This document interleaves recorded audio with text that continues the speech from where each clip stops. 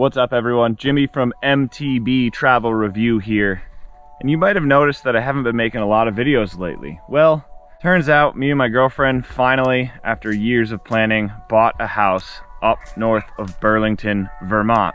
So I've been doing a lot of this.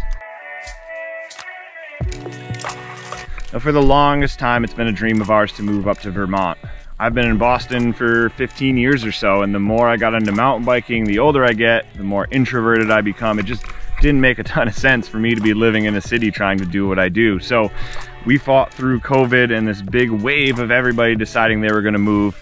Uh, we had planned this for a long time, so we stuck to our guns, took about 13 offers, and we finally landed a beautiful house with two acres, surrounded by woods. It's got mountain views.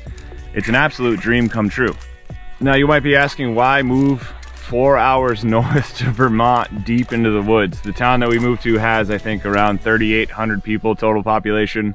There's not really a police station. We're definitely in the boondocks surrounded by farms, but man, there's just something so magical about Vermont.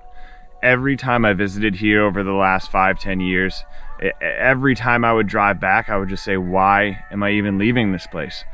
Whether it's the, the, the, local farm vibe, whether it's just roaming around and, and having space for my dog and a beautiful house. Homeownership has always been a dream of mine to have more space for bikes, for friends.